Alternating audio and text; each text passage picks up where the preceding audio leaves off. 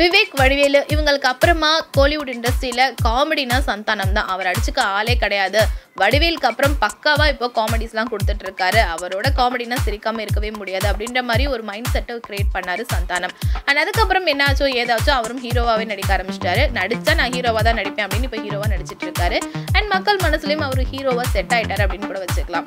And அதுக்கப்புறம் சூரி வந்து ஓரளவுக்கு அவர் இல்லாத குறைய காம்பன்சேட் பண்ணாரு அப்படின்னு சொன்னாலும் ட்ரெண்டியா நடிக்கக்கூடிய ஹீரோஸோட அவரோட காமெடி வந்து சரியா ஒத்து போகல அப்படின்னு தான் சொல்லணும். அவரோட ஸ்லாங் பாடி லாங்குவேஜ் இது எல்லாத்துக்குமே வந்து செட் செட் ஆகல அப்படின்னு தான் சொல்லும் ஸோ இப்போ வந்து அந்த ஒரு குறைய போக்கிட்டு இருக்கவர் யார் அப்படின்னா ஆர்ஜே பாலாஜி. இவர் ஆர்ஜேவா இருந்து இப்போ காமெடி நடிகரா வந்து மாறி இருக்காரு தீயா வேலை செய்யணும் குமார் படத்தில் தான் முதல் முறையாக நடிச்சார். அதுக்கப்புறம் வடகரி படத்துலயும் நடிச்சிருந்தாரு. ஆனா இவருக்கு ஒரு பெரிய ஓப்பனிங் கொடுத்த படம் அப்படின்னா நானும் ரவுடி தான். அண்ட் அதுக்கப்புறம் இப்போ கடவுள் இருக்கான் குமார் கவலை வேண்டாம் படங்கள்ல இவங்களோட காமெடியை கோலிவுட் ஃபுல்லாவே பேசிட்டு இருக்கு. ஸோ கவுண்டர்லாம் நல்லா தான் கொடுக்குறாரு. பட் இருந்தாலும் டபுள் மீனிங் ஜோக்ஸ் நிறைய இருக்குல்ல அப்படின்ற மாதிரியும் சில விஷயங்கள் ரசிகர்கள் மனசில் ஓடிட்டு இருக்கு. சந்தானத்தோட காமெடி ரொம்ப நல்லா இருக்கு.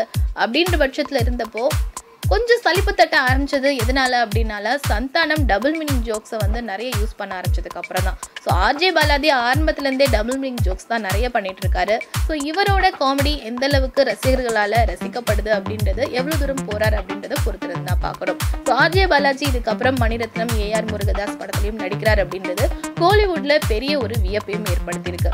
இந்த மாதிரியான சினிமா அப்டேட்ஸ் நிறைய தெரிஞ்சுக்க ஃபில்மி ஃபோக்கஸை சப்ஸ்கிரைப் பண்ணுங்க.